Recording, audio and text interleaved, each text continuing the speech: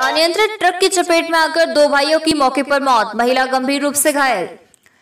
अनियंत्रित ट्रक की चपेट में आकर दो चचेरे भाइयों की घटनास्थल पर ही मौत हो गई। वहीं एक महिला की हालत गंभीर बताई जा रही है। गंभीर महिला को सत्यचला चिकित्सालय में दाखिल कराया गया। ड्राइवर घटना के बाद फरार हो गया। घटना मुफ्तरजात पलाडी चौक की है। दरअसल दोनों युवक बमनी डी ब्लॉक के ग्राम पंचायत अफरीद के हैं, जो आज सत्यदार शिदार अपने चचेरे भाई सुनील कुमार के साथ अपनी पत्नी संतोषी सदार को उसके मायके जा रहे थे। तभी लोहारा कोट रायपुरा मुक्ता पड़ाही कला चौक के पास अनियंत्रित ट्रक ने ठोकर मार दी, जिससे घटनास्थल पर ही दोनों चचेरे भाइयों की मौत हो गई।